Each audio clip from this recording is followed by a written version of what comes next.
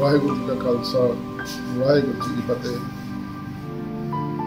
ਸੰਗਤਾਂ ਵੱਲੋਂ ਦਿੱਤੇ ਸੁਝਾਅ ਅਤੇ ਮੈਂਬਰ ਸਾਹਿਬਾਨ ਵੱਲੋਂ ਦਿੱਤੇ ਸੁਝਾਅ ਮੁਤਾਬਕ ਜਿਹੜਾ ਸੈਂਟ ਵਰਤਿਆ ਜਾਂਦਾ ਸੀ ਉਸ ਵਿੱਚ ਖਤਰਨਾਕ ਕੈਮੀਕਲ ਹੋਣ ਕਾਰਨ ਗੁਰਦੁਆਰਾ ਸਾਹਿਬਾਨ ਵਿਖੇ ਸ੍ਰੀ ਗੁਰੂ ਗ੍ਰੰਥ ਸਾਹਿਬ ਜੀ ਦੇ ਪ੍ਰਕਾਸ਼ ਉੱਪਰ ਜਿਹੜਾ ਇਹਦੀ ਸਪਰੇਅ ਬੰਦ ਕੀਤੀ ਗਈ ਹੈ ਕਿਉਂਕਿ ਇਹਦੇ ਵਿੱਚ ਕਈ ਤਰ੍ਹਾਂ ਦੇ ਖਤਰਨਾਕ ਕੈਮੀਕਲ ਹੁੰਦੇ ਨੇ।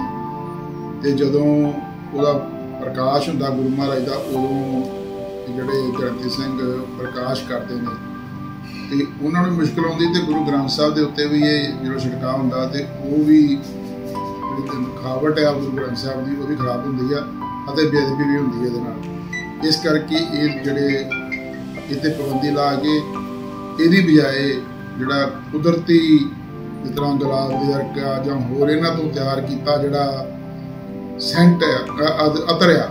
ਉਹਦੀ ਵਰਤੋਂ ਜਿਹੜੀ ਉਹ ਗੁਰਦੁਆਰਾ ਸਾਹਿਬਾਨ ਨੂੰ ਦੇ ਮੰਦਿਰਾਂ ਨੂੰ ਕਿਹਾ ਗਿਆ ਕਿ ਇਹਦੀ ਸੈਂਟ ਨੂੰ ਮ- ਬੰਦ ਕਰਕੇ ਜਾਂ ਇਹਨੂੰ ਘਟਾ ਕੇ ਇਹਦੀ ਥਾਂ ਜਿਹੜਾ ਕੁਦਰਤੀ ਅਤਰ ਹੈ ਉਹਦੀ ਵਰਤੋਂ ਕੀਤੀ ਜਾਵੇ। ਤਾਂ ਜੋ ਕਿਸੇ ਨੂੰ ਨੁਕਸਾਨ ਵੀ ਨਾ ਹੋਵੇ ਅਤੇ ਗੁਰੂ ਘਰ ਦੀ ਬੇਅਦਬੀ ਨਾ ਹੋਵੇ, ਕਿਉਂਕਿ ਜਿਹੜਾ ਕੁਦਰਤੀ ਅਤਰ ਆ, ਉਹਦੇ ਨਾਲ ਵਾਤਾਵਰਣ ਸ਼ੁੱਧ ਰਹਿੰਦਾ ਕਿਉਂਕਿ ਉਹ ਤਕਰੀਬਨ ਤਕਰੀਬਨ ਜਿਹੜਾ ਹੈ ਉਹ ਜਿਹੜੇ ਕੁਦਰਤੀ ਫੁੱਲ ਨੇ ਉਹਨਾਂ ਤੋਂ ਤਿਆਰ ਹੁੰਦਾ ਹੈ।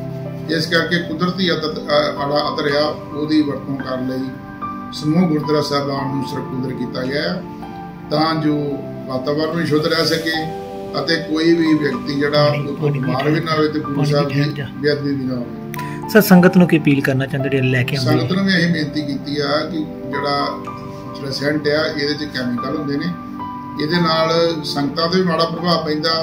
ਤੁਸੀਂ ਵੇਖੋ ਹੋਲੇ ਮਹੱਲੇ ਤੇ ਜਦੋਂ ਦਰਬਾਰ ਸਾਹਿਬ ਆਪਾਂ ਹੋਲਾ ਮਹੱਲਾ ਮਨਾਉਂਦੇ ਆ ਜਾਂ ਹੋਲੇ ਮਹੱਲੇ ਸਮੇਂ ਪਾਲਕੀ ਸਾਹਿਬ ਜਾਂਦੀ ਆ, ਕਿੰਨਾ ਸੈਂਟ ਲੋਕੀ ਗਲਾਰਦੇ ਨੇ। ਇੱਥੋਂ ਤੱਕ ਕਿ ਸਾਹ ਲੈਣਾ ਵੀ ਮੁਸ਼ਕਲ ਹੋ ਜਾਂਦਾ। ਤੇ ਉਹਨਾਂ ਚੀਜ਼ਾਂ ਨੂੰ ਧਿਆਨ ਵਿੱਚ ਰੱਖ ਕੇ ਜਿਹੜਾ ਇਹ ਸੈਂਟ ਦੇ ਵੀ ਆਏ, ਅਤਰ ਦੀ ਜਿਹੜੀ ਸੇਵਾ ਸੁਖ ਲਸਣ ਕਿਹਾ ਗਿਆ, ਉਹ ਲਿਆਓ ਜੇ ਲਿਆਉਣਾ ਤੇ ਅਤਰ ਸੈਂਟ ਬੰਦ ਕਰ